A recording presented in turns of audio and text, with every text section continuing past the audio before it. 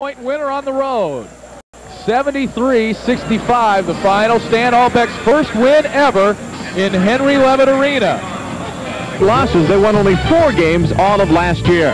Whether he's a starter or the sixth man, Eddie Bird has been their key player. He's the top Sycamore scorer, averaging almost 15 points per game. He gets help from Travis Inman's 10 points a game, and much of Travis's game comes from the outside, where he's hitting almost 39% from three-point land. Bradley got off on the wrong foot this year, going 1 and 9, but Stan Albeck has settled in a basic six-man unit, and Andy Bastock has caught fire, double figures in eight consecutive games. And then there's the steady play of the big man, Luke Jackson. Big Luke leads the Braves against the Sycamores, and it's coming up next. Uh, for today's game between Indiana State and Bradley. Welcome everyone to Breakfast at Bradley. We'll have an 11 a.m. tip-off today for these two Missouri Valley Conference teams. A pleasant good day, everyone. I'm John Paul Dellacamera. Alongside me is Greg Starrick. You know, if you looked at this game several weeks ago, you'd say, what kind of a game would it be? These two teams were picked for 7 and 8, but they're proving their detractors wrong. Well, JP, both ball clubs are playing very well. Bradley got off to a rough start, went 1 and 9, playing very well now. They got the record up to 7 and 8. What can you say about Indiana State? Tates Locke has really brought the program around. Basketball is back at Indiana State. Well, Tate is pushing the right buttons, Greg, because he really has 98% of last year's team that penetrator, but the real key, eliminate those second and third opportunities for Bradley on the glass. And how about the Bradley Braves? They've got a great home record here. They've won 81% of their games at Carver. Well, it's tough to play when you come in here to uh, play against Bradley. Bradley's got to do a good job from the outside, need a real strong performance out of Stuckey and White from the outside. Also inside play. Don't forget about Xanthus Houston. Uh, you hear about Luke Jackson, but Houston's got to be a force in the ball game. Also, also stay out of foul problems. They only play with six players. Don't send Indiana State to the line. They lead the Missouri Valley in free throw percentage. Well, one of the key players is Andy Bastock. On the other side, we talked about him at the top. Eight consecutive games, he's had double figures, so he's really benefited by the increased playing time. Oh, he's played excellent for him, and he's a real key in the ball game. You know, it's a player you don't expect to come in and give you a real lift scoring-wise, but he's done just that for the Bradley Braves. Well, after a slow start, Bradley trying to maintain a roll against a tough Indiana State team. We'll meet the players for both teams when we come back to Peoria. We're on time to check in with public address announcer Paul Herzog for the starting lineups. Featuring the Sycamores of Indiana State University and your Bradley Braves. And now the starting lineups. At a forward for Indiana State, a 6'3 senior from Paris, Illinois, number 45, Ron Cheatham. Another forward from Indiana State, a 6'4 junior from French Lick, Indiana, 42, Eddie Bird. Center for the Sycamores, a 6'8 sophomore from Decatur, Indiana, 43, Luke Gross. The guard for the Sycamores, a 6'2 junior from St. Louis, 23, Dwayne Brown. And the other guard, a 5'9 junior from Kingston, Massachusetts, number 10, Rob Vickers. The coach of the Indiana State Sycamores, Tates Locke, in his first season. And now, stand up and greet your Bradley Braves. And a forward, 6'7 sophomore from Lorain, Ohio, 42, Andy Basta. The other forward, a 6'9 sophomore from Taft, Oklahoma, 21, Xanthus Houston. Center, the team captain, a 6'8 senior from Springfield, Illinois, 53, Jackson. The guards for Bradley, a 6'1 freshman from Peoria Central, 14, Charles White. And the other guard, a 6'1 junior from Peoria Manual, 32, Curtis Stuckey. And the coach of the Bradley Braves in his fourth season, Stan Albeck, your Bradley Braves. The new look Stan Albeck no longer is his hair perm. So Stan and the Braves are 7 and 11 going up against the Sycamores. They come in with a 7 and 8 record. The game when we come back. White, Xanthus Houston. Off the tip, Bradley leads in the all-time series 20 to 9. They've won six straight as well. Right side, it'll be Dwayne Brown for the Sycamores. Cheatham outside to Bird. He's been playing as a sixth man. He's in the starting lineup. The giveaway. Stuckey off to the races. Curtis Stuckey has the first two for Bradley. Good quick hoop for Bradley. A good start for Bradley. Very important when you're playing against Indiana State, JP. Get out of the blocks very early. Eddie Bird down low. Here's Brown with a pump fake. Goes up strong, and it gets the roll. Dwayne Brown, the only player to play or to start in every one of the Sycamore games this year. They've used eight different lineups. Charles White, freshman point guard to Luke Jackson. Bastock, he's been on a roll. 16 points a game his last eight. Started out the year with four points a game in his first 10. Houston now to Jackson. Being picked up by Cheatham. Again, it's Stuckey. Even though Stuckey's not the point guard, they want to put it in his hands as often as they can. Yeah, Indiana State in a man-to-man defense, but it's a very soft man-to-man, and they really pack it down low. It's great weak side help defense by Indiana State. Stuckey is short from three. Gross, their top rebounder, makes a nice save on that far court line. Coming back the other way, Rob Vickers with a pass in. Now Dwayne Brown doesn't get the roll. A rebound attempt is good. And Gross is on the board. 4-2 Indiana State with the lead early. Opening half of play here in Peoria. Charles White outside to Jackson. Jackson a strong inside player, but because of their inexperience, he comes out a lot more from the corner. The miss from White, and there's Gross with his second big rebound. Well, Indiana State's defense giving Bradley the shot from the outside. They're taking away the inside game of Jackson and Houston early here in the ball game. Well, that was a Stan Albeck concern yesterday, Greg. He was saying that uh, with their perimeter shooting, they needed to have a strong game against Indiana State. He was fearful of that. Here's Bird, strong from the outside. They're going to give him three. Eddie Bird. Good ball movement by Indiana State. Patient on the offensive end. A nice pick set for Bird. Bird off the pick, hits the three-pointer. Bird's a 40-pointer, 40-percenter, I should say, from three-point range. White down low on the pass. Houston with a pump. Misses. The rebound is Bastock. Andy Bastock just averaging under 10 points per game, but that'll go up based on his double figures in eight straight. Well, they call him the garbage man, but the case there was in point. Really worked hard on the offensive boards and got the rebound. Eddie Bird's jumper from 15, so he's hot. Canning his last couple.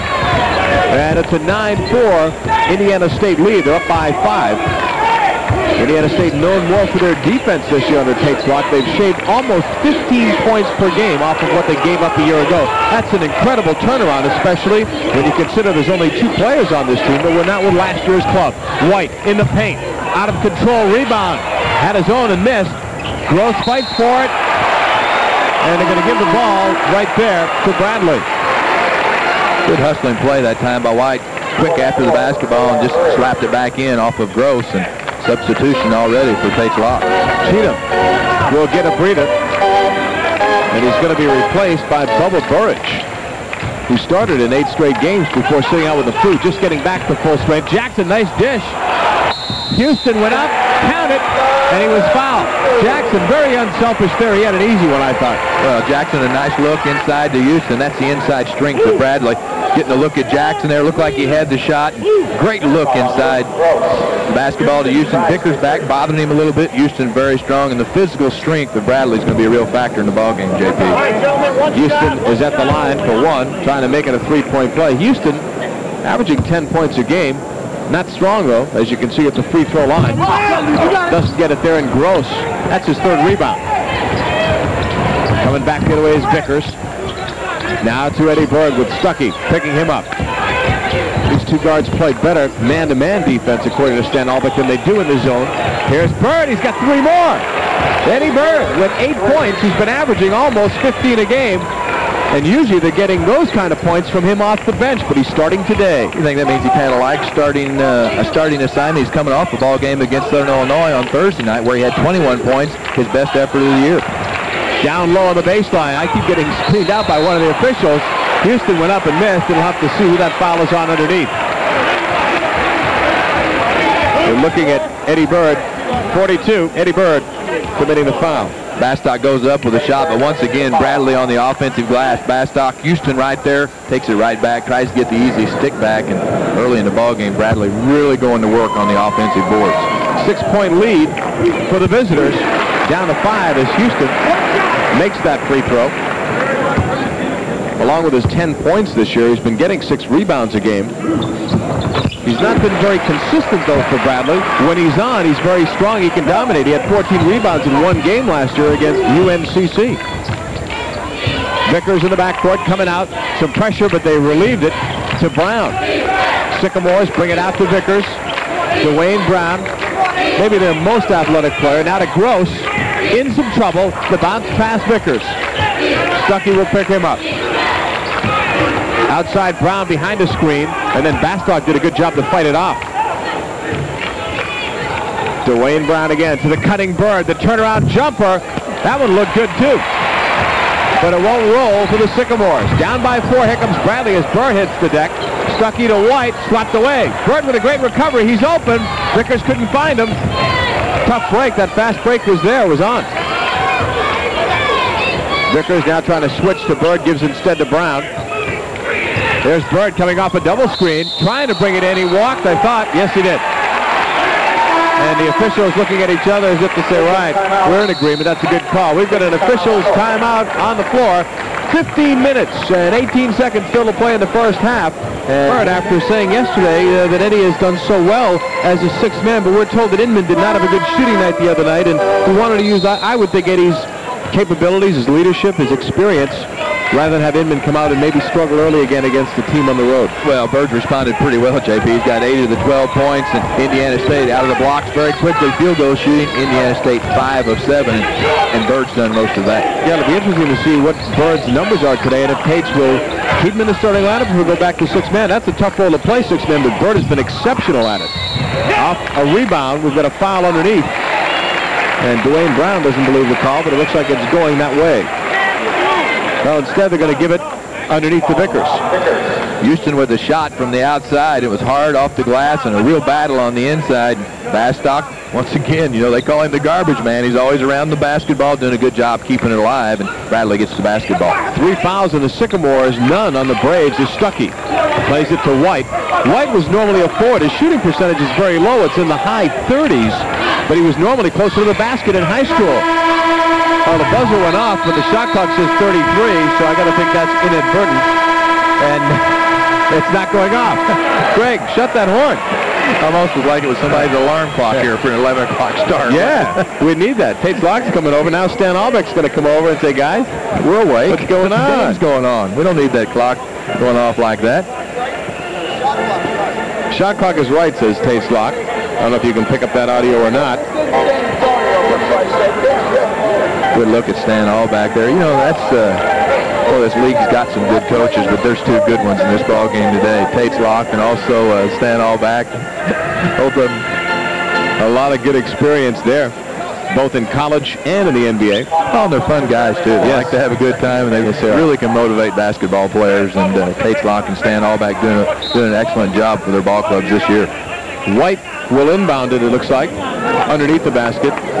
White next year, after they get some recruits in, and maybe perhaps even get an injured player back, they're not sure whether or not uh, Dion Butler will be able to come back, but he may be back at a, maybe a number three position or at a, as a backup number two guard. But he probably won't play the point next year. Jackson on the outside. Stuckey. Stuckey wasn't even eligible until December 14th. He's a transfer from Drake, but they're a different team with him in the lineup, and with Bastock hitting.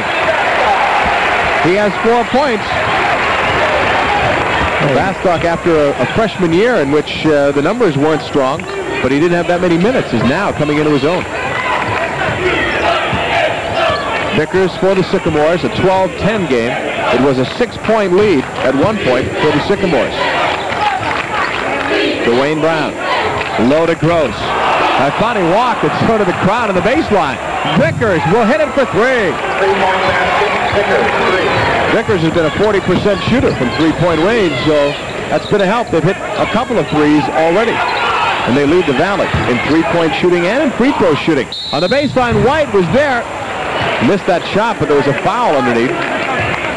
So the Sycamores will be guilty of their fourth foul. Good look by Houston, gets the ball to White. A good quick move, really accelerates on the baseline, and Brown picked up the personal foul. But good ball movement by Bradley on the offensive end and adjusted to changing defenses of Indiana State. Indiana State's giving them a look of a, a soft man-to-man, also a little zone defense also here early in the ball game. White at the free throw line makes it count. You know, Charles White, last year in high school, his team lost one game. They were 32 and 1, and I'm not so sure that's a loss. In triple overtime in the championship, I mean, you know there's a loser in that game, but how bad do you consider yourself a loser in triple overtime? Well, I bet the team that won can remember that they yeah, won. Yeah, that's right. They celebrated a little bit more. Vickers will bring it up. Travis Inman getting ready to check back into the lineup. He had hit in double figures five straight games for the Sycamores and then only had five against a very good Southern Illinois squad on Thursday night. Down low to Gross, denied at the baseline by White. And now we're going to see Inman coming in. Good outside shooting sophomore. And it looks like he's going to replace Eddie Bird. Gives him a lift, another player that can shoot from the outside when Inman's in the ball game. Oh, Brown hits for two. Dwayne Brown give him four points, and it's a six-point lead again. Second time in the first half that the Sycamores have led in it. Jackson Remember, Bradley had the 2 to nothing start on the turnover from Bird, and Stuckey went. There's the big man, Houston. He has six points. Vickers will bring it up now for the Sycamores, who lost 17 straight games last year. Couldn't buy a win once they had four victories locked up. This year, not only did they have seven wins, but there were games that they played hard enough and well enough in to win, including Thursday night, but ended up losing. In the paint to Burridge, and Burridge drew a foul. It'll be played out of bounds. Jackson committing his first foul. You know, Jackson used to get in a lot of foul trouble early in his career, and he was getting into some this year. They've switched to a zone. They play him up at the point, so he's less vulnerable, vulnerable to pick up those fouls inside. Yeah, excuse me, JP, but he hasn't had all those problems. And when you're only playing six players, they can't afford for anybody to get foul problems. Vickers with it now to Inman. Travis Inman, around and out. He was called the other night. And they've got a Jackson foul, it looks like, and Tates Locke is up applauding that. I don't blame him because if it's on Jackson, that's two in a row. Shot goes up from the outside by Inman. Did everything but go through the basket. Look at the hustle by Gross on the inside and the box out by Jackson and Houston. They must have got uh, Jackson on the foul. On the jumper, Brown around and out. Houston on the rebound. Coming back the other way, Charles White. He'll slow things down. 17-13. Bradley and a foul on Dwayne Brown. Okay, Bradley, you can remember them from years past. They loved to run with the ball. They had Hersey Hawkins. Even before that, Jim Les was a good point guard. Then they had last year Anthony Manuel. They'll take the run if they can find it now, but they don't run as much because of their inexperience at point guard. They don't recognize the breaks as they develop like they did in the past. Here comes Vickers. To Inman on the baseline, a soft one-hander. They'll give Inman a couple of points, and this is another six-point lead. That was transition basket that time by Indiana State. They really took advantage of Bradley not getting back quick on the defensive end. And nice acrobatic shot. Inman got the two-pointer. Less than 12 minutes to play first half. Stuckey will drive it in. Pop up from 15 is no good. Rebound. There's Bastock. Well, if you want to call it garbage, that's fine. He's got six points. Every team could use a garbage man. And that's been Bradley's best offense here in the first half. Put it up from the outside and crash the offensive boards. Well, Tates Locke said, yes, sir, we've got to minimize their shots, give them one shot, but that was too many. Gross was blocked by Houston. I thought Brown walked before it. So Houston commits the foul. 19-15. Nice look, though, a nice dish down low by Brown. Brown, a penetrator, went up for the shot and dished it down low to, to Gross. Good catch by Gross. Gross was fouled on the play. And it's Indiana State enjoying a four-point lead, 19-15. Luke Gross at the line for Indiana State. He's almost a 70% free throw shooter. Greg Thomas, the freshman point guard, getting ready to check into the lineup for the Sycamores. Gross at the line, will get the roll. So Luke Gross now has a total of three points. He's only been averaging four points, but he's done a good job on the boards. Vickers comes out, and Thomas comes in. They like Thomas for the future, but he's getting a lot of quality playing time as a freshman. And Vickers did a good job running the offense, I thought, here uh, for Indiana State. Gross missed it, but there was a whistle. The lane violation. Bastock got in the lane too soon. Those hurt, although maybe not so much this early in the ball game. A mental error. I think Stuckey was in there also, JP, and uh, also we're getting a look at seeing uh, Jay Shell for Bradley, and he can light you up from the outside, a good three-point shooter. They call him the zone buster, and as an official's time on the field, we'll see if he busts that zone perhaps when we come back. Right now, it's Bradley, the home team on the losing end. It's 21-15. Sycamores have led almost all the way. That's that you. That could be a key. The offensive rebounds, Bradley with a big edge. Stuckey to Luke Jackson. Shell down low. Houston with a power move, and he was stripped of the ball on that collapsing defensive Thomas. Exactly right, JP. Indiana State does such a good job turning going to the basketball when it goes inside, and that was the case there. They collapsed and created the turnover. There's Greg Thomas. Oh, nice bounce pass to Inman, and he walked. Tough break there for Inman because Thomas did a nice job. Well, the pass was there, JP, and good look there at Tates Locke. And sometimes when the passer gives the basketball to you, you've got to be able to do something with it. The pass looked good, but when Inman caught the ball, there wasn't anywhere for him to go. So it was not really that good of a pass to Inman that time. Jackson from Stuckey. Speaking of not a good pass, they want Jackson to handle the ball more this year. It's because of that inexperience at point guard. Last year, he'd fill the lanes, he'd play down low, but you had Manuel. This year, because he's such a strong passer, although you wouldn't tell right there, they like the ball in Luke's hands out, out at the top. There's Dwayne Brown behind the screen. That should be a good one for Inman. He's got three more. A total of five. Tates Locke has to be happy. Inman hitting that jump from the outside. He was real cold against SIU. Played very tight. Only 2 of 12 from the field against SIU on Thursday. This is the biggest lead of the day for Indiana State. And so far, breakfast at Bradley, they can't like what's on the menu. A nine-point lead for the Sycamores.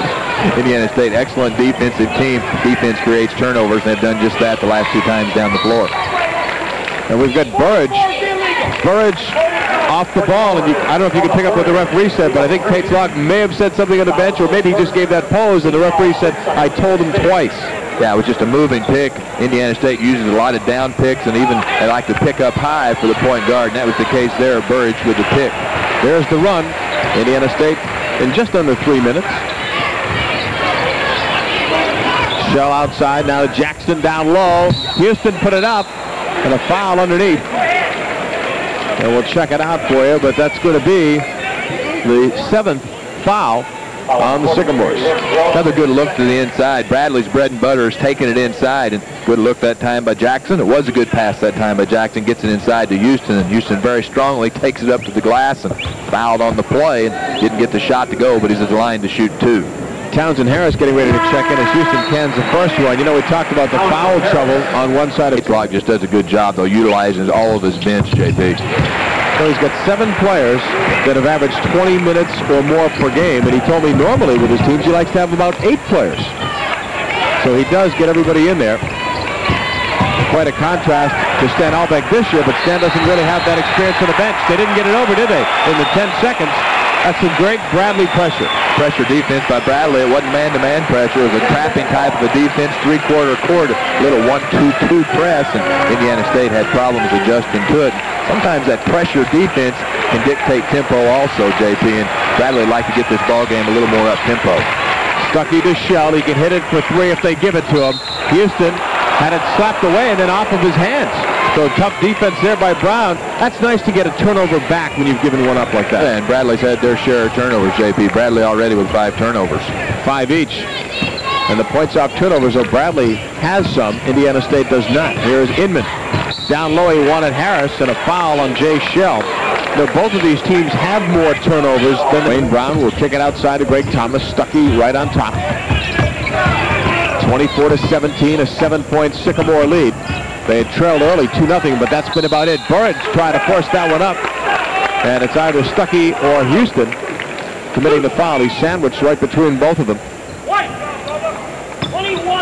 Foul is going to be on Houston, and now he has two. So one of the things that you said at the top is turning out to be fairly prophetic, although Stan Albeck doesn't like it. They're in some foul trouble with the big men. Bradley's starting to get in some foul problems, and Stan Albeck's having to utilize a lot of different uh, people. One thing he can do, though, with just playing only six players, those players can interchange a lot of different positions, so it's not like he uh, doesn't have anybody to fill positions.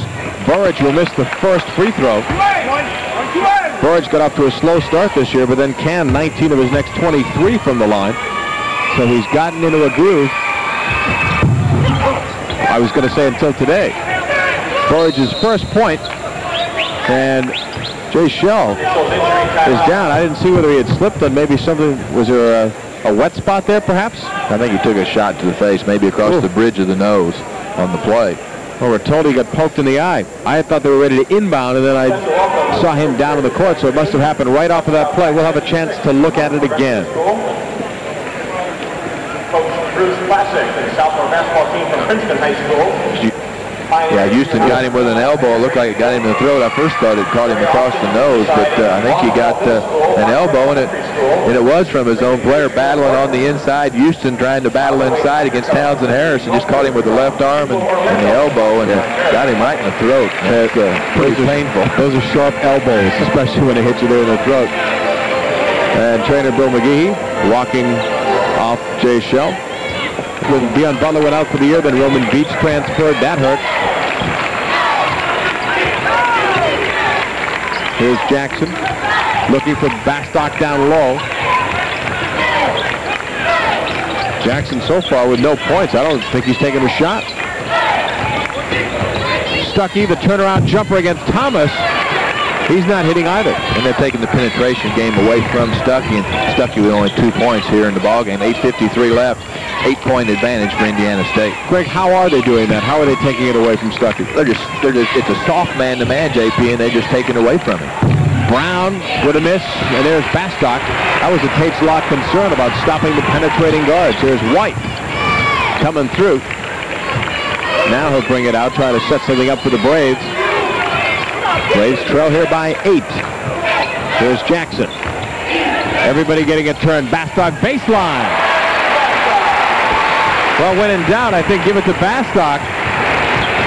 Last year when they gave it to him, they didn't know what was going to happen. And in fact, he didn't get enough minutes to do anything. But this year, he's been one of their key players, especially in the last eight games. Brown nowhere to go. Tough D from Houston and Bastock. Stuckey will take it back. The deficit is six for Bradley. Sycamores have led virtually all the way.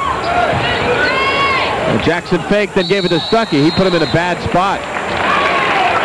I'm wondering why Jackson is so hesitant to shoot. Well, Jackson appears to be man to man, and it, when I say a soft man to man, it gives you the same principles of a zone defense.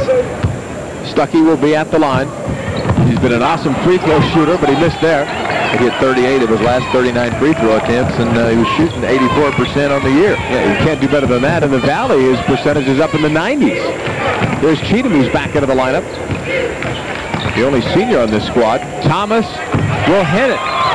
Uh, that's pretty good for Greg Thomas. It looked like he had nowhere to go. Oh, it was an excellent decision, though. Got it inside in the paint area and didn't have anybody to pass the basketball. The defense dropped off of him, and Thomas hit the jumper. Thomas is only a freshman. He's going to be a good point guard for Indiana State. 27 to 19, an eight-point edge. It belongs to the Sycamores. Here's Bastock outside. Jay Shell getting ready to check back into the lineup. From the baseline, the jumper no good from Jackson. Underneath, it is put up. Give it to Bastock. Once again, offensive rebounds. Bradley going to boards real hard. Again, the best offense, shot from the outside, work hard on the offensive glass, get the easy stick back. Nine straight games, if you're counting with us, for Bastock in double figures. Here's Inman on his drive in the paint. The running one-hander. He'll miss the roll, and Jackson will take it down. Down by six, and every time Bradley gets it down to six, Sycamores get a big basket after a Bradley miss, so we'll see if they can cut it here. Jackson will miss. A scramble for it. There's Greg Thomas, very feisty, trying to put it down, and a foul on Jackson. What's he doing even close enough to get a foul in that situation? And Jackson was playing with two personal fouls. That's a third personal foul on Luke Jackson. Just a battle for the basketball. Thomas going after it, Townsend Harris, and Thomas comes up with it. Stuckey's right on him, putting a lot of pressure on him, and Thomas looking for a place to land, and no question about it. Jackson over the top, picked up his third personal foul. I still don't think he should be there with two fouls and the ball right where it was. There was enough support there. It's 27 to 21. The six-point lead is not the big story for Indiana State. Or away, making believers out of some of the skeptics in the Valley. Look at the field goal percentages. You're going to win games if you can shoot 63, but can they maintain that grade? Well, Indiana State with a hot hand early in the ball game. They've done a good job executing on the half court, and Bradley really needs to turn it up a notch on the defensive end because Indiana State's got some very easy shots. I shouldn't say can they maintain it. I should say how long can they maintain it. This is a team that shoots in the low 40s. Cheatham. Thomas in some trouble. We'll bring it out. Shot clock down to 14. I don't recall it being that low so far. Down to 5.55 left in the first half. 27-21. They're not aware of that shot clock. Inman outside. Down low. Knocked away. Stuckey. Coming back. They'll penetrate against Inman. The easy layup. Curtis Stuckey, not too fancy there. He wanted the two. Well, the Stuckey gets the two-pointer, but it was the defense on the half court that really set it all up. Coming back on the right side, Cheatham. Inman. Down low, a nice cut by Brown, but he walked. Or maybe he ran. 27-23. Again, here's a chance for Bradley. They've narrowed it down to four. Let's see what they do here. They've taken Jackson out during that last stoppage, and that has Stan Albeck obviously concerned. Well, that means Jay Shell is going to have to really respond and contribute some points here in the ball game if Bradley expects to win. Well, Houston's done a good job so far, and they need more of him. And if Stuckey can catch fire on that one-handed baseline jumper, Bradley will be in better shape. And that was the penetration that Tates Locke very concerned about of Stuckey. And a foul is going to be called on Shell as he tried to double team on the trap with 5.03 to go. But I'll tell you, Bradley has cut a nine-point lead down to a couple. And would you have thought that they could have done that with Jackson with Liking of Bradley in the last four minutes. This is an 87% free throw shooter. He is number one in the Missouri Valley Conference. High school, at Speedway High School in Indianapolis, he shot 95% from the line. Yeah, I was going to say that. You missed. You made him miss. Coming back the other way now is White. That's a great uh, free throw percentage. And we're talking a freshman. A lot of those free throws have been made on the road, too, in tough circumstances. Stuckey missed. He had gotten his last couple.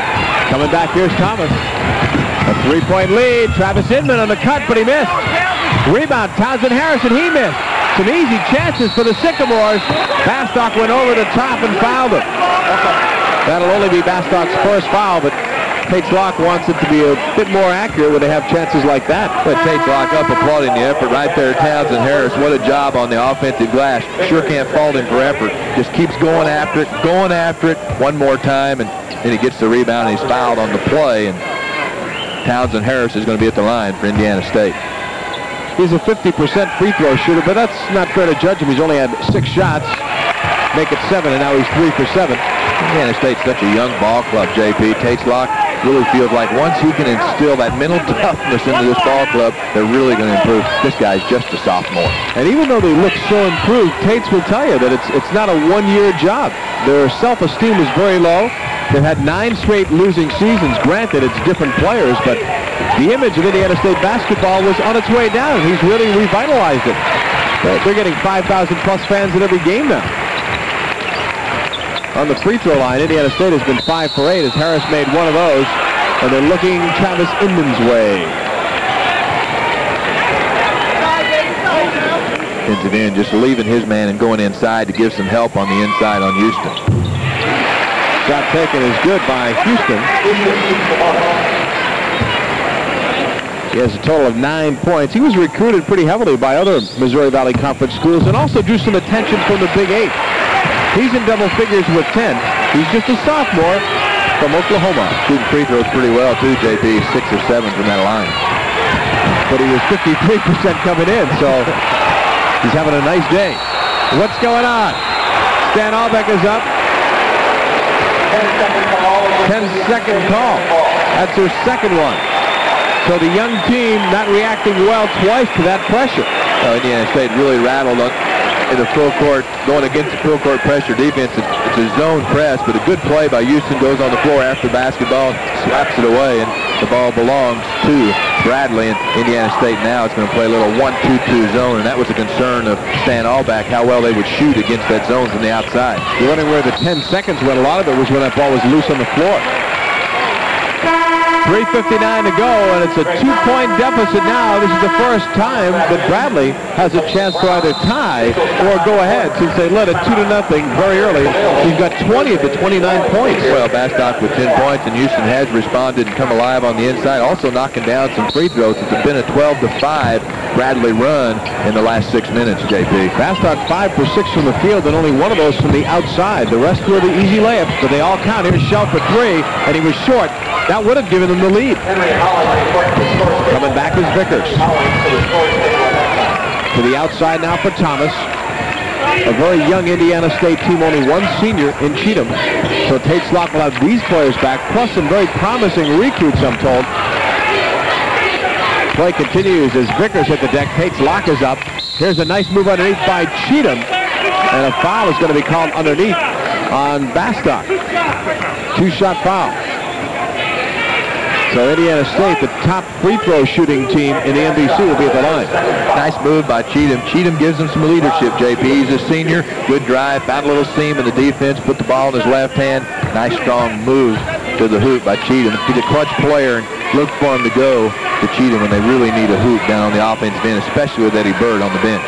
Well, Cheatham's been averaging 11 points a game over his last three, but he's also averaging 22 minutes in his last five after starting out the year playing only eight minutes. So Tates Locke going for that senior leadership. And now Houston gets a breather, and Scott Behrens will come in. He's a 6'8 freshman, almost weighs in at 200 pounds. He's from Bartonville, Illinois. Cheatham at the line. Will try to make two when he does.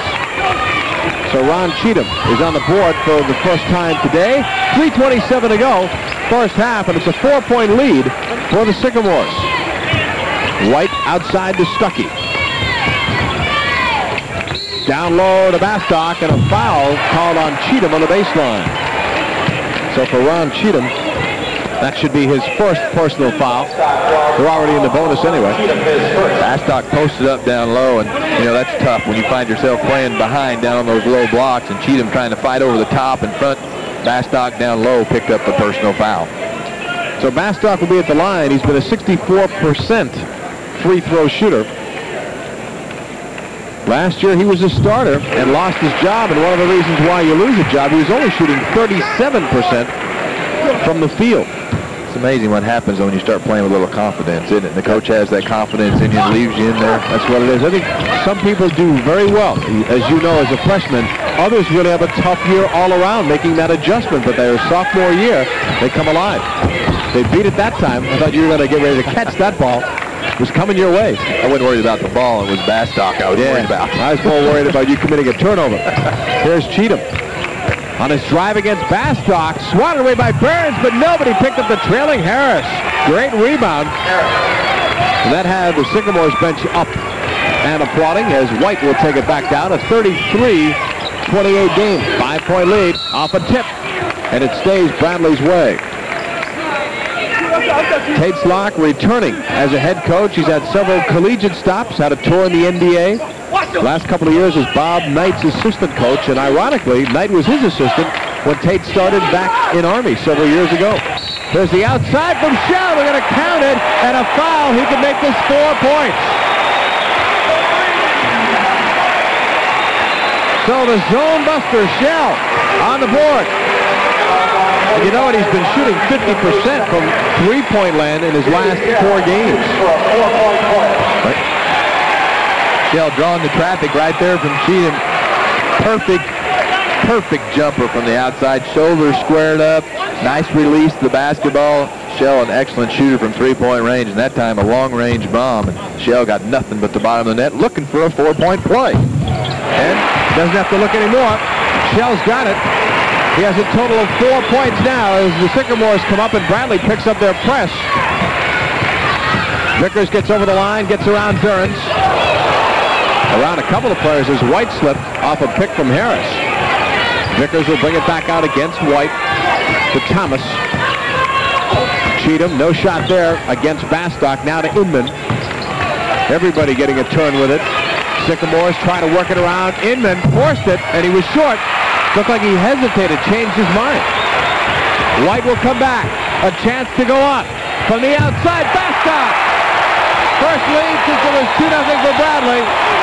Give Bastock 13 points. 34, 33. Braves are up. Deflected off the leg of White. He put in play now by Inman with a new shot clock. Battery really warming up from the outside. Big baskets by Shell, and that time from the outside by Bastock. Inman. Now it's Cheatham. Working it around to the outside.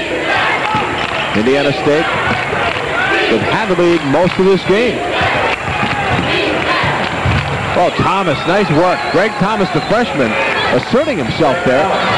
Tough shot, too, by Thomas. A little leaner in traffic. 35-34, one-point lead, Sycamores. Here's Stuckey. Oh, two whistles in there.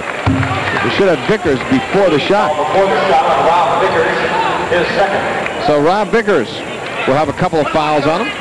That's when Stuckey's at his best right there, when he's able to penetrate found that lane area wide open. Stuckey quick to the hoop, and Stuckey excellent quickness. A junior, a transfer uh, from Drake, and really has helped this ball club since he's become eligible, JP. Stuckey will make it. Well, they didn't really have a, a two guard without Stuckey being here.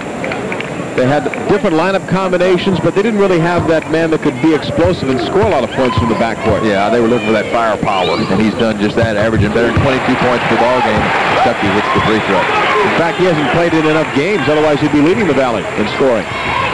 Has to play in 75%. He's about at 61% of their games. I'll tell you, Ron Cheatham was wide open. It's a hell ball.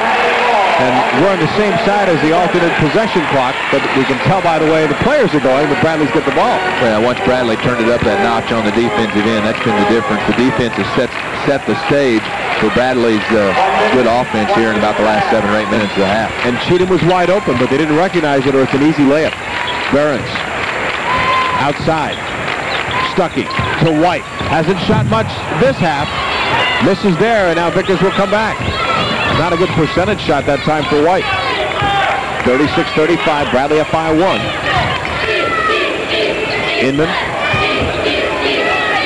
Outside now to Cheatham. We've not seen Eddie Bird in a while, which is surprising. No, he only played six and a half minutes to start the ball game. He scored 80 of the first 12 points, but he's been on the bench the rest of the half. Coming back, Vickers. I thought was out of control, but they've got a foul earlier on Stuckey. Stan Albeck may not agree with it.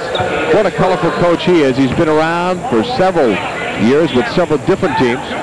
And Vickers a good drive there, and that's when the defense really breaks down, JP, when, when that guard can penetrate. That was the case there. Vickers a good penetration move, and Bradley defense had to collapse, and Vickers was fouled on the play. Burridge comes back in, and Dwayne Brown comes in as well. Inman checks out. Now, we talked before about Stan Albeck. He returned to his alma mater. This is his school, Bradley, and they brought him in during a tough time. They had been on probation, and he revitalized things back here. Last year they had a losing record for the first, for the fourth time in 40 years. He's really turned things back up on a positive note here for Bradley. I agree with everything you said, JP, except he also knew he had Hersey Hawkins. Oh, he did? You think that was a factor? Hersey, by the way, named the player of the decade in the Valley, and he's doing quite well, thank you, with Philadelphia in the NBA. Well, the last three years, Bradley's had the leading scorer in the Missouri Valley. Hawk for two years, Hawkins and Anthony Manuel last year. Possibility Stuckey might lead it this year. Six seconds left. Stuckey will miss there, and Vickers pulls it down. Down to two seconds. Got to let it go, and he was not aware of how much time was left. But I'll tell you what, Indiana State will do well to take any kind of a lead into their dressing room at halftime. It's always tough to win on the road, especially ball game of the week here at halftime. Creighton has Chad Gallagher up there. Look at Stuckey, what he's done since he's come into Bradley, and there's some players at Southern Illinois that are fighting for recognition. A lot of outstanding scorers, JP, in the league, and Gallagher, uh, Harstad's not mentioned, but he's an, also an outstanding scorer, too, for Creighton. Creighton, an excellent ball club. Jones and Mahan doing an excellent job for SIU. Leading rebounders, Sam Rourke at 11 rebounds per ball game. Jerry Jones right behind at 10. Rick Shipley, also a great rebounder. Lance Jackson is the big man in foul trouble. He has three, but it didn't seem to affect Bradley. If anything, they came back stronger, cut the lead, and then took the lead. Well, after Jackson picked up those three personal fouls, someone had to pick up the slack. Jay Shell hit a big basket, JP. Hit a three-pointer. It was a rainbow. He was fouled on the play, turned it into a four-point play. But foul problems are a problem. Jackson's playing with three personal fouls. Jackson was a no-show offensively also, JP. Jackson didn't mark as far as uh, scoring any points for Bradley in the first. Three players are all tied with five points for Indiana State. On the Bradley side, it's not what you'd call balanced scoring. Only Charles White, who has one point, has a point out of everyone else on that Bradley team. So they've had four players get most of the points, and Charles White has had only one point on a free throw. But we talked about Bastock and Houston being real factors in the ball game, and they respond. White, Bradley in the red and white. Outside Brown, now to Eddie Bird. Not played since the first six or seven minutes of that first half. Nice cut, Luke Gross. On a good backdoor play. Nice look, though, by Eddie Bird. Eddie Bird draws the traffic. Always looks like he's going to put it up from the outside, drops it down low, and Gross got the easy two-pointer. Braves with it. Starting out this half, Jackson is out there playing with three personal fouls. To see how his game is affected. He was not really a factor at all in that first half of play. Bastock. Stuckey. Stuckey, the pull-up jumper, that's no good. Bastock fought for the rebound, but there's Dwayne Brown. Yeah, good job by Brown checking off the backboards, and Brown comes away with the rebound. Coming back, Thomas outside now to Dwayne Brown, the junior from St. Louis. Eddie Bird driving in. The pull-up jumper from 16 is no good, and there's Stuckey on the rebound. This Bradley team has some balanced rebounding. Stuckey at times has led them in rebounds. White can't hit. And now Thomas will take it. Still a lead here for Indiana State, although they built it up to three at one point, Greg. Remember, it was a nine-point edge for the Sycamores. Indiana State really doing the job on the glass, JP. They led the board war in the first half, 17 to 13. Here in the second half, they've got off to a good start. And the rebounding was a concern of both coaches as Jackson pulls one down. Stuckey coming back. Outside now to Charles White, freshman point guard. He started in every game. And in three of the last four games, he's played every minute. Stuckey has got all kinds of stamina. He hasn't had a breather in the last four games except for a timeout. Jackson outside. Now to Houston. Outside for White. And Charles White will get the basket. A total of three points for White, but that's his first field goal. He's got to shoot the shot, JP. They're leaving him wide open. It's an unmolested jumper from about 14 feet. He's got to go ahead and put the shot up. Bradley coming off of a win against MCC opponent Loyola the other night. And even though they scored 71 points, only 17 came from that backcourt. Thomas, now Brown, likes that shot and cans it for three. Dwayne Brown. This team has led the Valley in three-point shooting. Nobody picks up White. Now Bradley wanting to pick up the tempo, and that's one way to do it. Beat the defense back down the floor, and White just took it all the way to the glass and got the easy two-pointer. Indiana State didn't do a good job getting back on the defensive end. Going back is Thomas. You were at that Indiana State game the other night. They tied it, and Eddie Bird's couple free throws with about eight seconds left, and then Mahan took it all the way up the court as Gross is fouled by Stuckey.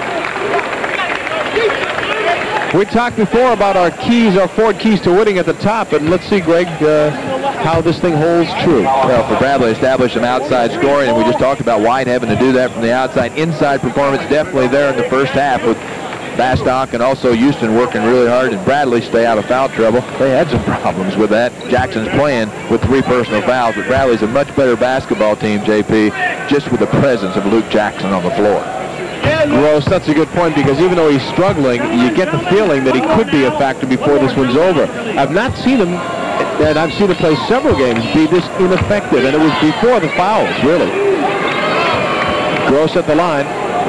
There are his numbers.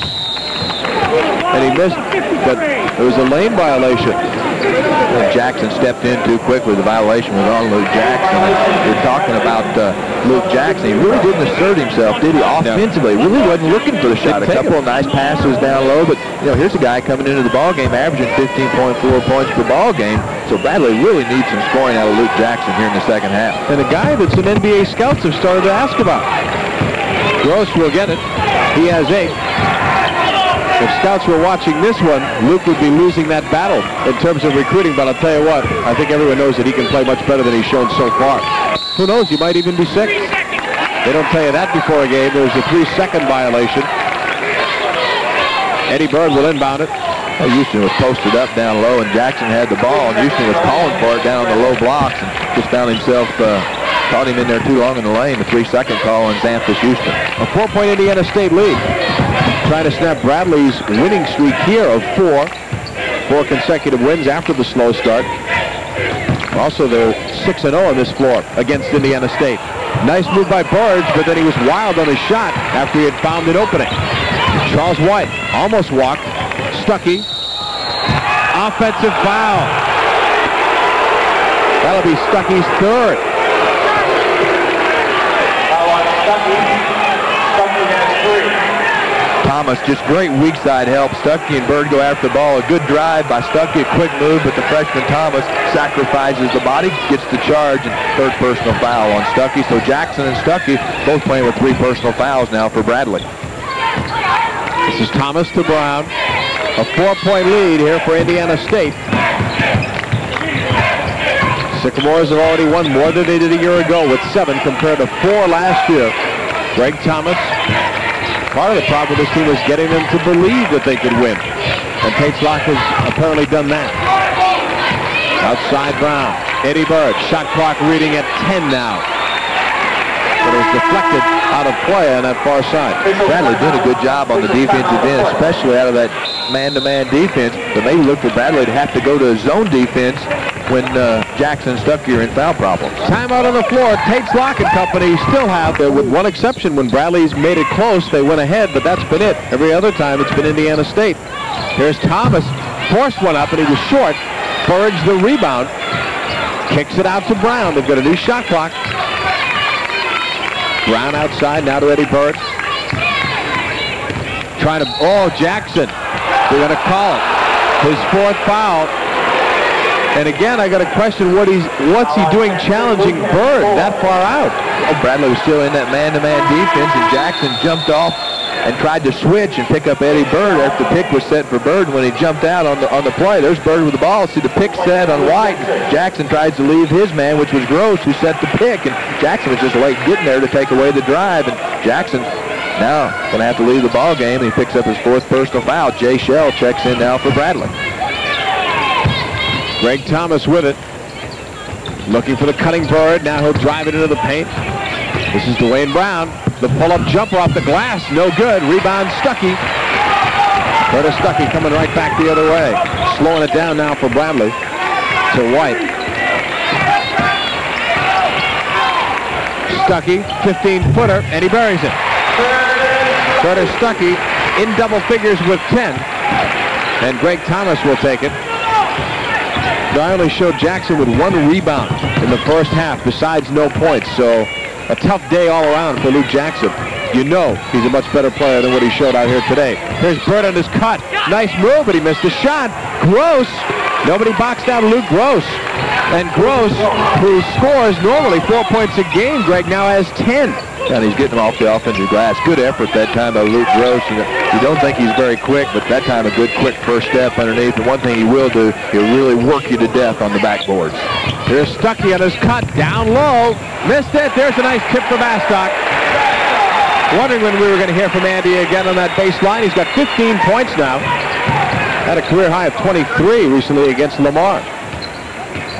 Players getting ready to check back in for Tates Locke's team, including Vickers and Cheatham. And if either of these teams could get tired, you, you tend to wonder, would it be Bradley because they only used six or Indiana State because they just played a very tough game two nights ago against uh, Southern Illinois? Well, JP, your comment's right on. It was a tough ball game for him against uh, SIU on Thursday night, and I'd have to say it'll be Indiana State. I don't think they have the physical strength, and I think that's a real concern of Tates Locke, and I think that's why we saw Vickers in the lineup instead of Greg Thomas. He was concerned about the legs of Thomas, and he also feels like that Eddie Bird can only play 25 minutes per ball game. Dwayne Brown with it. By now, I guess Stan's players are used to being in a six-man rotation, but from what I'm told, they're not used to all that foul trouble of late. Jackson with the four. Get a foul on Shell away from the ball. Well, Bradley not doing themselves any favors. You know, at the end of the game, people will always say, well, that was a tough call, that was a tough call. But I got to say this, on a, on a few of these calls, Bradley's players have put themselves in bad position. And that was the case there. That was a personal foul, and that's Jay Shell's third personal foul. Oh, Cheatham canned it. That was a two-pointer. He almost got a foul there on Houston. So Ron Cheatham, who's a good perimeter shooter, cans one there. And Bradley's still playing a man-to-man defense. I still look for him maybe to get out of the man-to-man and go to his zone. There, Bradley's hanging in there, and hanging in there might be a good term because of the two teams, Indiana State's more on their game than Bradley is on theirs.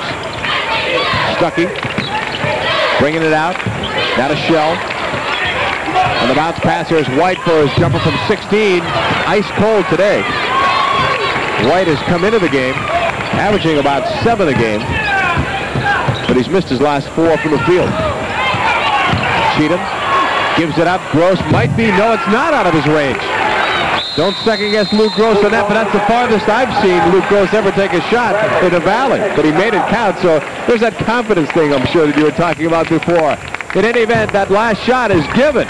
Indiana State a six-point lead, one of those shots where maybe the coach is mad if you miss, but how could he be mad when you make it?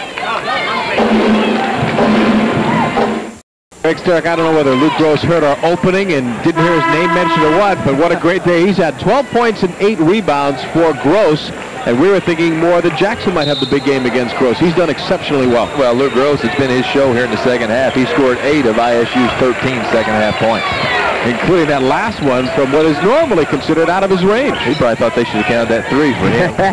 Shell down low, or at least two and a half. Here's Houston on the turnaround. Sanford Houston, very quiet this half. He had 10 in the first half. That's his first field goal. Brown now to Cheatham, and the press is on, but they beat it. Dwayne Brown, did he walk? Yes, he did.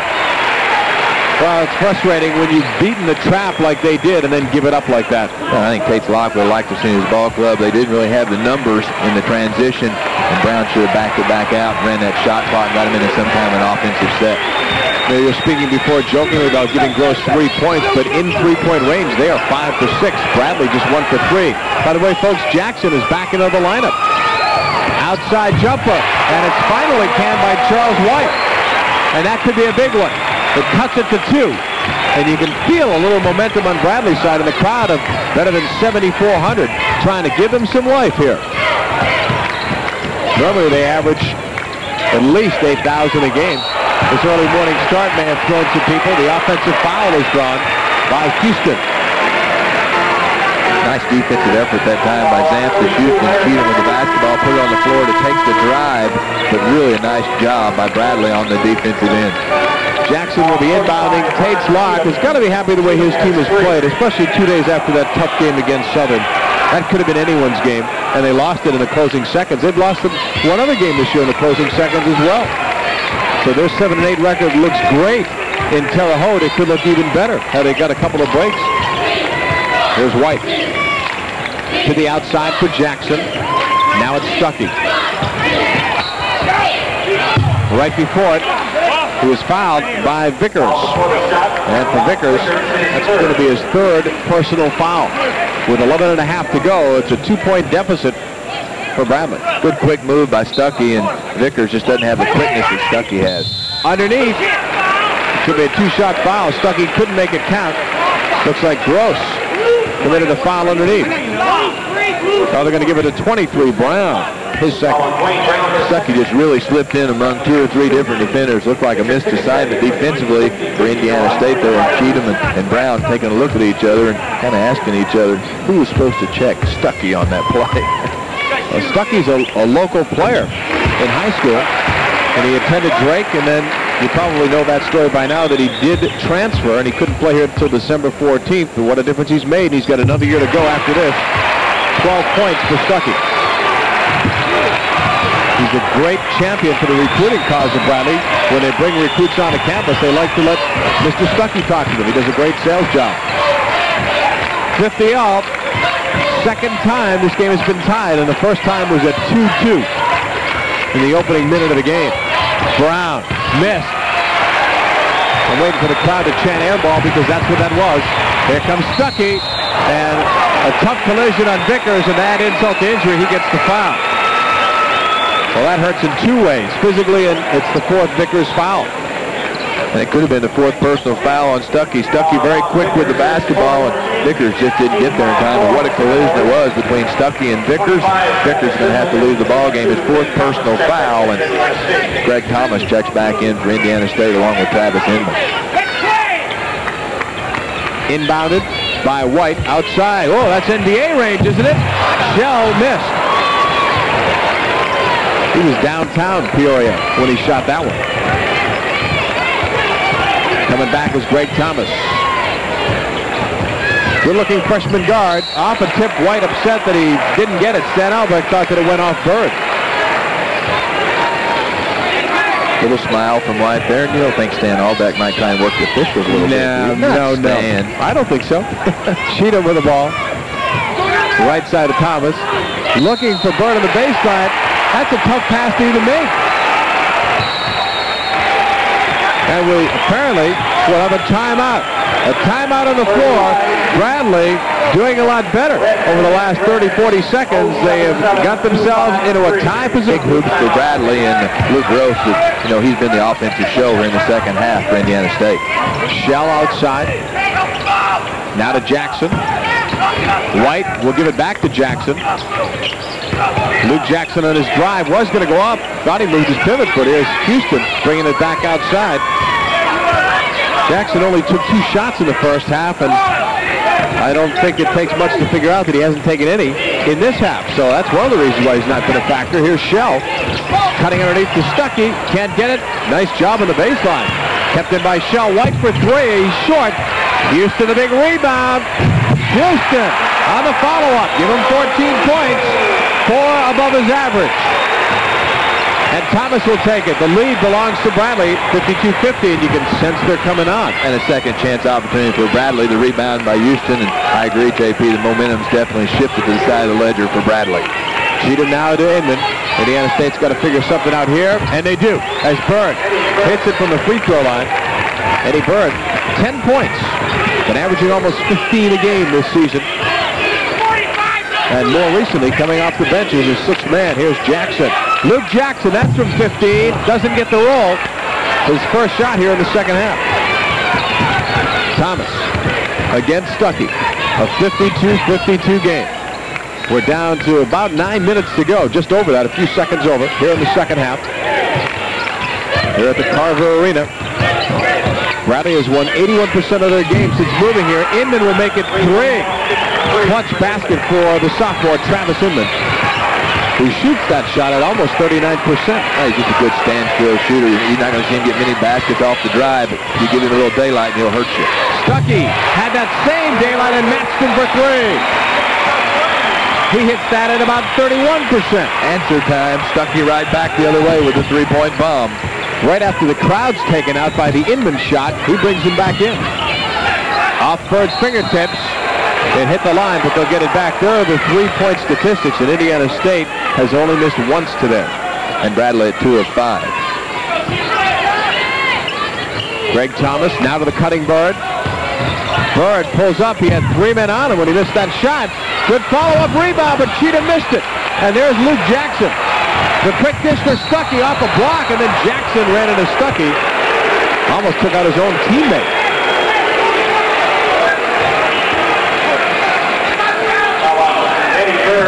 You hear that? Tates Locke said, don't talk to him, just referee.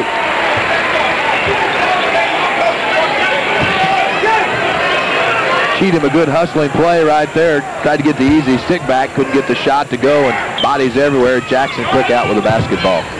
Houston now to Shell. Now to White. Charles White.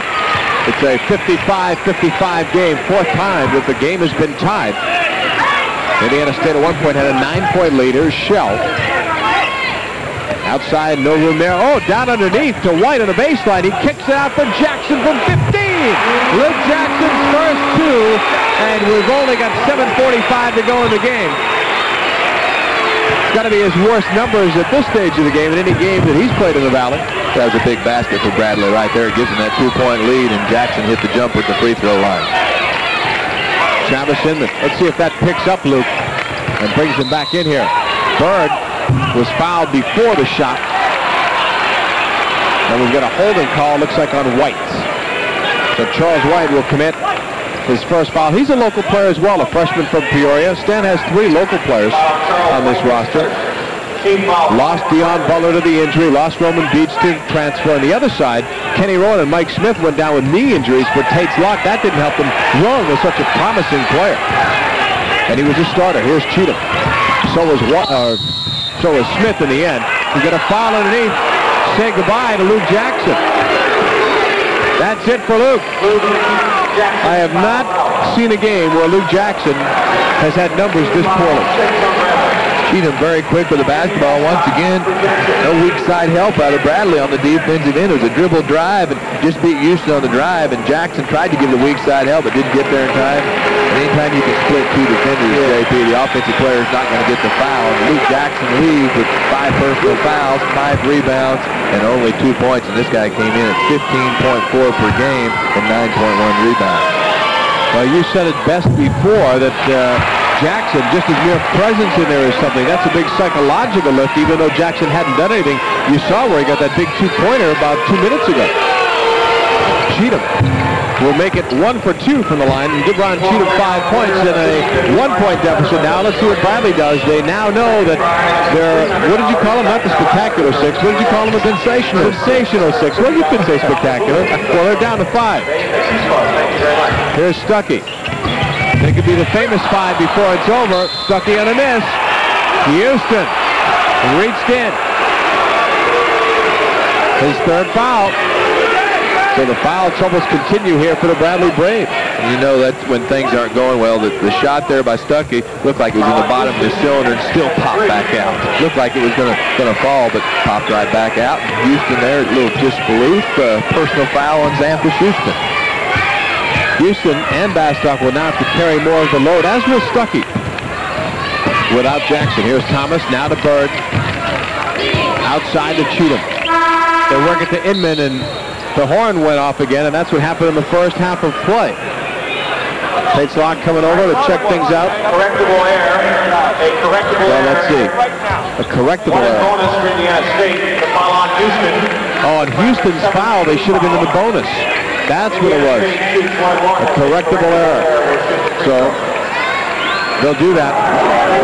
Let's see. Let's see who's going to take them. And I'm sure it takes a lot. Would love to see Greg Thomas. Well, Greg Thomas walked over to shoot the free throws. Yeah. Hey, this guy's Mr. Automatic at the line. He was walking behind the officials and hold on, hold on. I don't think that's who we're going to see at the line, though, for Indiana State. Do you remember it? I'm trying to think of uh, of what had taken place. I think it should be Cheatham at the line. See if they adjust the time as well. They're going over to talk to Stan Albeck. Had to be Cheatham or Gross at the line, didn't it? The foul was down low on the inside. The Yeah, I don't remember where Thomas was, It but definitely wasn't Thomas. yeah. you, you, if you're Tates Locke, you hope that the 86% Oh, yeah, free throw sure. shooter can go right. There's Mo McHone, Stan Albeck's longtime assistant in various stops. And we'll see what they're going to do. Now Gross is going to be at the line. Luke Gross having a nice day today. A good afternoon for Gross. He comes in, not getting much credit. Tates Locke told me yesterday that Eddie Bird has been his most improved player from the start of the year, and he said Gross will be right up there as well. So even though the numbers don't show it, Tates Locke knows it. At the free throw line, Gross misses. We look at Tates. I think he's not into the game. Same with his counterpart. And the ball's going to belong to Indiana State. After the missed free throw, it was a correctable error. It was a one-on-one opportunity, and Gross could get the shot to go at the free throw line, but Indiana State has the basketball. Cheatham down low. Inman Watson to the baseline. Travis Inman, the good outside touch. He's back in double figures. He had gone five straight until the Southern Illinois game. Now he has scored double figures in six out of his last seven games. Jay Shell on the outside, 6.27 left in the game. White walk. He walked with the ball. Costly turnover for the freshman. But they don't have that leadership of Anthony Manuel, who did so many great things for that team. Talk about a leader. He led them in everything. Offensively, defensively, he had the steals, the assists, the points. Well, now let's see what they're going to be doing. Well, Indiana State Just We'll get the ball. where they're going to bring the ball in bounds, JP. The ball still belongs to the Sycamores on that turnover. No question that there was a travel. There's Thomas against Stuckey. This one may go right down to the wire with 58-57 right now, a one-point game. At one point, it was a nine-point lead. Bird was given the baseline. He took it in. Well, you got to close the baseline down, and they didn't do it.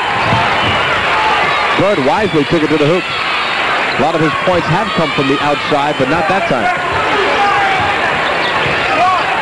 White Yeah, wide open, wide is from the outside. They're giving him the shot there, and he just keeps turning the shot down. Until now. And he hits it.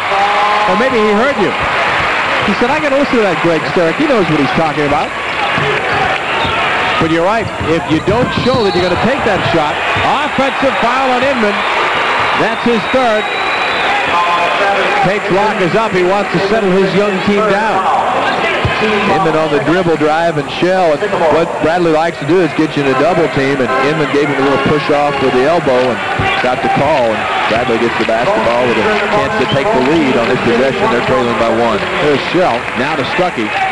White is wide open here, and they're giving it to him again against Bird. He tried to close him, to miss. Big rebound by Bastock, and then I thought he lost it, but they're going to say it belongs to Bradley. Well, that's effort all the way for Bastock. Vickers will get ready to check in. I was about to say before that point you mentioned, if you know a player's not going to shoot, like in White's case, you can sing off and help out underneath, and that's you got to take advantage of that if you're Indiana State, but if you're Bradley, I think White's going to start taking it. Well, that's why you have to put it up from the outside. And again, Bradley's good offense has been a shot from the outside, and Bastock going to the glass. Going to hold. And it looks like, let's see, Dwayne Brown. Well, he's in some foul trouble as well with three fouls, 5.20 to go. It's a one-point game.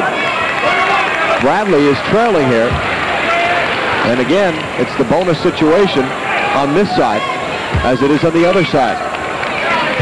If it comes down to free throw shooting, Indiana State, the best free throw shooting team when you count all games. When you just take it to three Valley games that they've played, then Bradley's on top. But they have not been a good free throw shooting team this year when you count all the numbers. Houston has 15 points, five better than his season average, six better than his season average. And any free throw here is clutch. Here's Cheatham.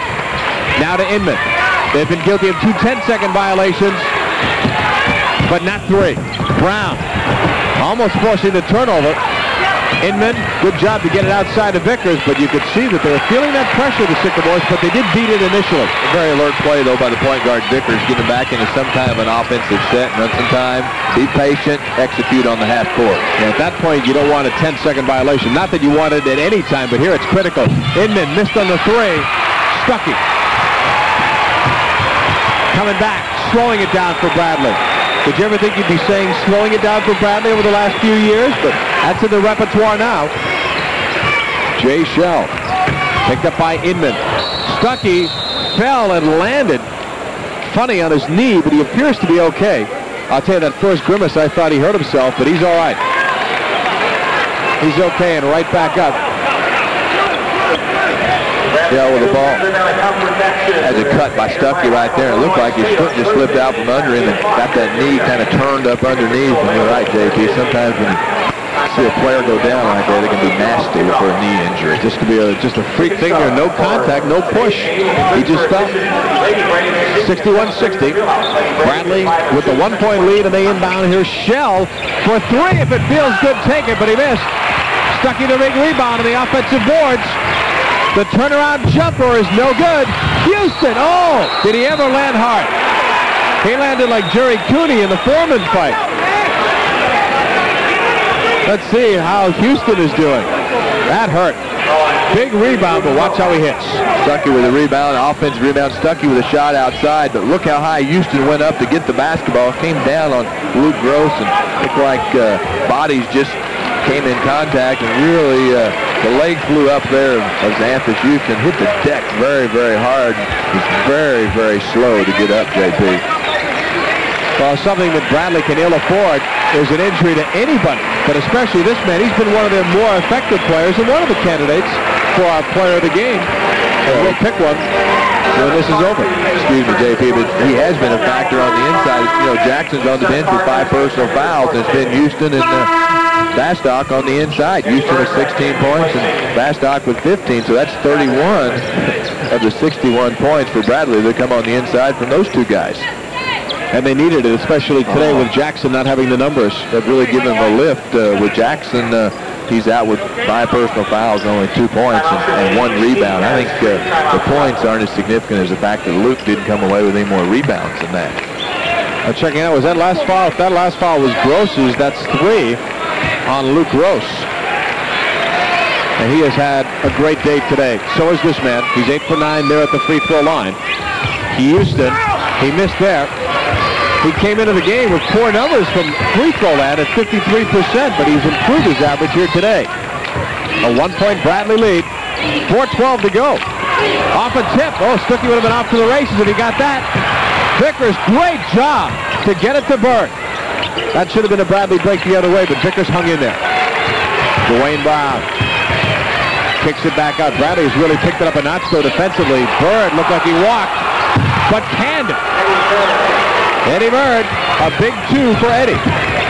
62-61, lead back to the Sycamore. Here's White on his drive. He'll bring it back out. Took himself in out of position. And now we'll milk the clock a little bit. Shell outside now to Bastock. To White. White looking. Will kick it back out to Stuckey. Pull-up jumper from 18. He'll get the roll. Stuckey with 17 points. And the one-point Bradley lead. Vickers. Coming right back the other way. Now to Dwayne Brown. Bradley leading it here by one. Eddie Bird from the outside. Steps in, gives it up to Gross. Kick out back to Bird.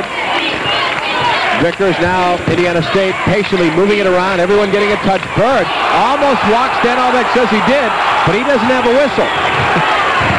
Here's Vickers. Shot clock reading 14. Bird, the jumper. It was short. He forced that one up. Bradley ball. Well, that's not the kind of shot if you bring it down to 15 that you want to take. Indiana State took it. They trail here by one. Still an awful lot of time to play with this officials timeout. 2.44 remaining in the game. Still anybody's game. Third in basketball. Hello tomorrow, goodbye yesterday. You can feel the emotion, we're breaking away. Generation of light, we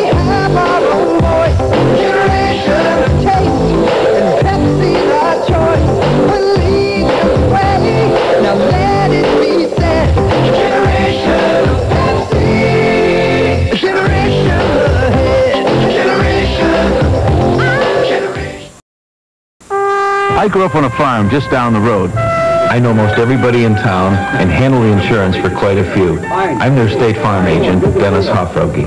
My job is to help my neighbors, to help them protect their families and the things they've worked for. It's a job I take seriously. Every State Farm agent does. You know, State Farm started out in small towns just like this. People trying to help their neighbors.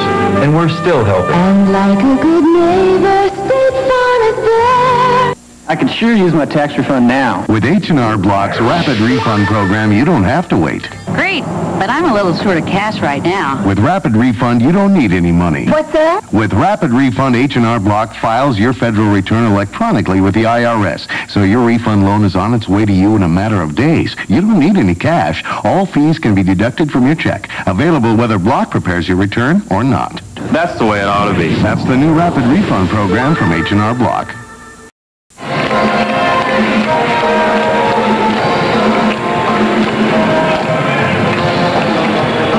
It's a one-point Bradley lead, and one of the reasons why Curtis Stuckey has caught fire with nine second-half points, a total of 17. Well, he's been able to penetrate against the Indiana State defense. That was a real concern of the Indiana State, taking that penetration drive away from Stuckey. They did it in the first half, JP, but they haven't done that here in the second half. What's been the difference there, Greg? I think the difference has been Bradley's been able to get some easy baskets on the inside with Houston and Bastock. They've really been forces here in the second half. Smith wants a little rotation here. Brings Bastock out away from the bucket. Now Shell. Bastock playing out where Jackson was playing before. Here's Shell. Three-point land. Won't get the roll. Houston, big rebound. Missed it. Rebound. It's good for Houston. Do they count it? Let's see. No basket. No Oh, Houston's upset. No basket. Well, they're going to wipe the basket off, JP, but it was White that was in on the offensive glass. He's the guy that missed the rebound. Shell from the outside. Indiana State playing a zone that trip, and the slap up by Houston didn't go, but the little guy, White, slipped in for the offensive rebound. Couldn't convert the, the hoop, and, then it was Houston that was fouled on the play, and Houston's going to be at the line to shoot one and one. Memphis Houston Again, you got to talk about the pressure. He's had a great day at the free throw line, but here's a 53% free throw shooter in the pressure situation. Well, he's got 17 points. He's had a great, uh, great day of basketball for Bradley. Missed that one, but it's a two-point Bradley lead as Gross leaves it off for Thomas. Greg Thomas, the freshman from Speedway, Indianapolis. Nice name for a town in Indianapolis, or in Indiana, I should say. Two minutes, two minutes. Home of the Indy 500. Here's Dwayne Brown. Nowhere to go with it. Pretty close to a five-second closely guarded call. Big possession, too, for Indiana State, and Bradley's really turned it up on the defensive end. Greg Thomas. Now to Bird. Kicked away. Just as Charles White reached out to get it, he kicked it away. And what that does also, JP, when you kick it like that, the point lead for Bradley, 64 for Bradley, 62 Indiana State. Solid coincidence, but that's the second time he's kicked the ball today. One right in front of our press table in the first half.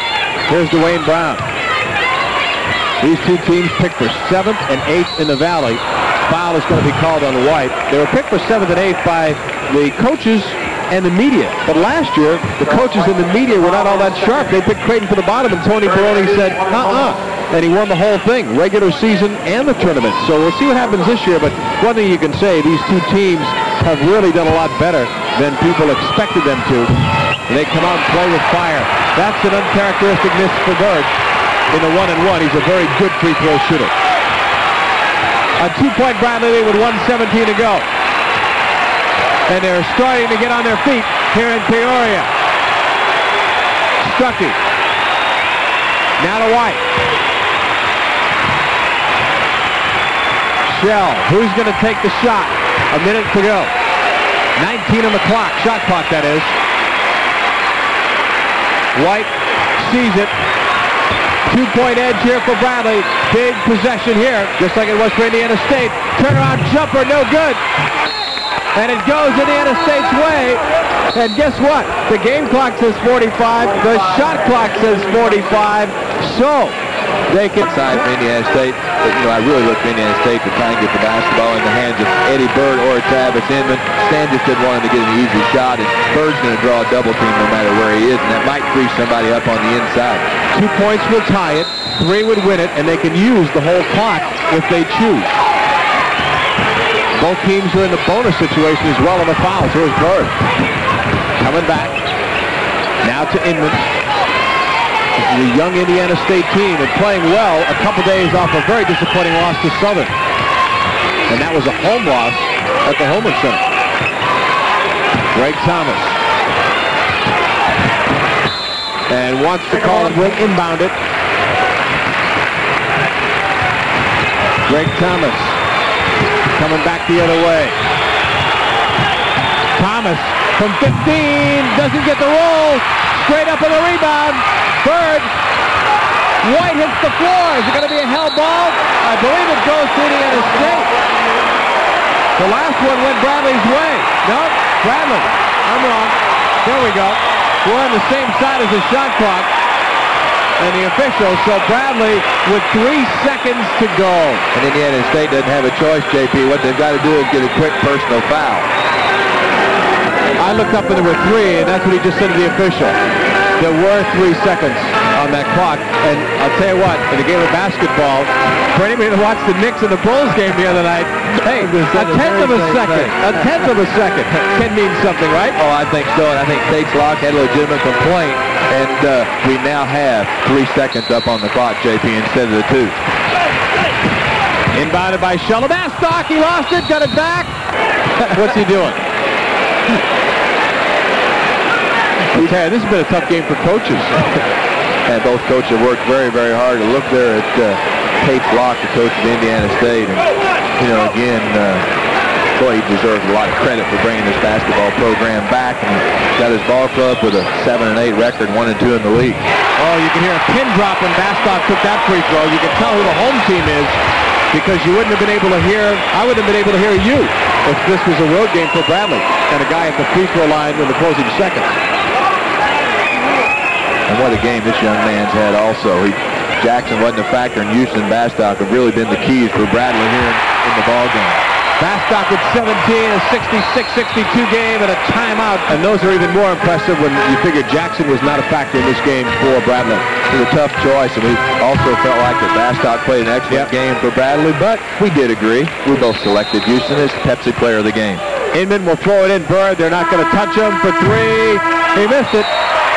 It would have only brought them to within one, but the final score is 66 to 62. The Bradley Braves with a four-point win against the Indiana State Sycamores. For Greg Starrick, I'm John Paul Della Camera. Thanks everyone for watching our Missouri Valley Conference basketball game of the week.